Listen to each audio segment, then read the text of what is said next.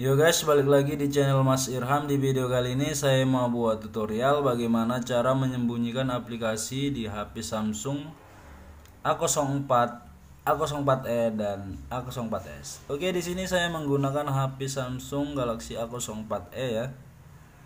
Oke, buat teman-teman Sebelum kita lanjut di videonya, jangan lupa like di video ini dan subscribe di channel ini supaya makin berkembang lagi channelnya ya teman-teman.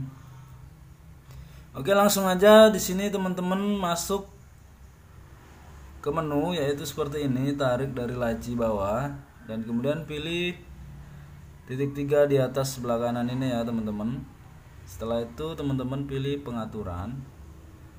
Oke, setelah itu teman-teman di sini pilih sembunyikan aplikasi di layar depan dan layar aplikasi. Nah, di sini teman-teman tinggal pilih aplikasi mana yang ingin teman-teman sembunyikan ya. Misalkan kita mau menyembunyikan aplikasi Shopee dan share it. Kemudian teman-teman pilih selesai. Maka kita kembalikan, kita cek di sini tidak ada aplikasi Shopee dan share it ya, teman-teman. Karena aplikasinya sudah kita sembunyikan. Nah, untuk mengembalikannya gimana teman-teman? Caranya sama seperti tadi. Tarik dari laci kemudian titik tiga dan pilih pengaturan. Setelah itu pilih sembunyikan aplikasi di layar depan dan layar aplikasi.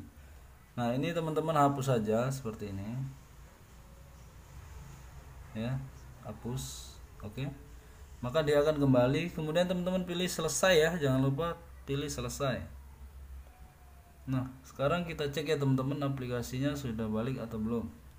Nah, ini dia teman-teman ya, Share dan Shopee-nya sudah balik. Oke teman-teman mungkin demikian aja video tutorialnya semoga bermanfaat jangan lupa like comment dan subscribe terima kasih